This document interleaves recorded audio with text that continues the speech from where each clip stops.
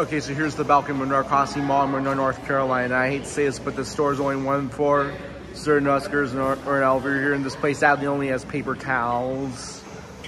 Oh well, that's it.